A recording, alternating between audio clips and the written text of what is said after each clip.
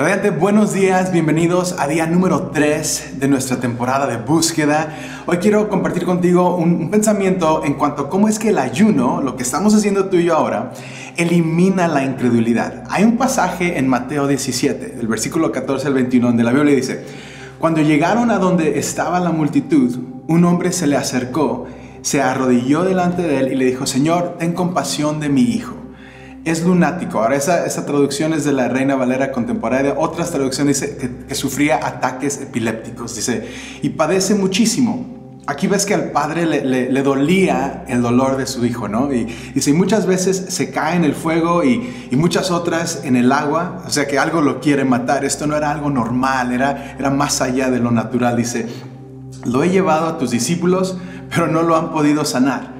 Entonces Jesús dijo, hay gente incrédula y perversa, ¿hasta cuándo tendré que estar con ustedes? ¿Hasta cuándo tendré que soportarlos? Tráiganmelo acá. O sea que como que él esperaba que sus discípulos estuvieran ya un poquito más entrados en esta capacidad de ayudar a alguien. Y, y dice, Jesús reprendió entonces al demonio. Vemos aquí que no era algo simplemente físico, natural. Había algo espiritual detrás de esto. Dice, reprendió al demonio y este salió del muchacho y desde aquel mismo instante el muchacho quedó sano. Después, versículo 19, después los discípulos hablaron con Jesús aparte y le preguntaron, ¿por qué nosotros no pudimos expulsarlo? Y Jesús les dijo, porque ustedes tienen muy poca fe. No sé cuánto te gustaría a ti o a mí que nos dijera Jesús eso, pero dice, de cierto les digo que si tuvieran fe como un grano de mostaza, le dirían a este monte, quítate de allí y vete a otro lugar y el monte les obedecería. Nada, escucha bien, nada sería imposible para ustedes. Nada es imposible para ustedes con fe. pero este género o este tipo dice, no sale sino con oración y ayuno. Y aquí es, aquí es donde me, me encanta eh, el poder sobrenatural de Dios que viene a nuestras vidas y a través de nuestras vidas cuando tú y yo tomamos tiempo para buscar eh, eh, y sinceramente conectarnos con el corazón y la, mentalidad de Dios. Sabes, eh, tal vez hoy quiero animarte a que recuerdes esto. O, cuando tú y yo oramos y ayunamos, no, le hacemos, no, lo hacemos para cambiar a Dios o para cambiar su voluntad.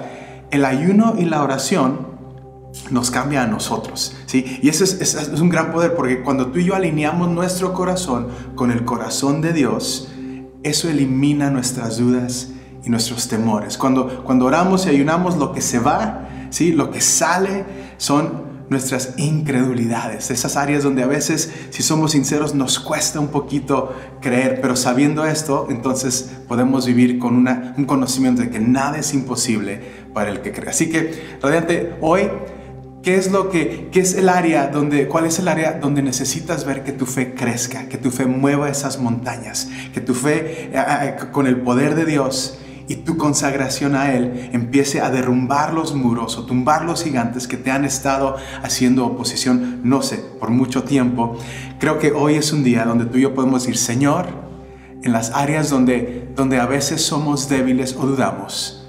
ayúdanos, incrementa nuestra fe y ayúdanos a ver esas montañas moverse en el nombre de Jesús. Amén.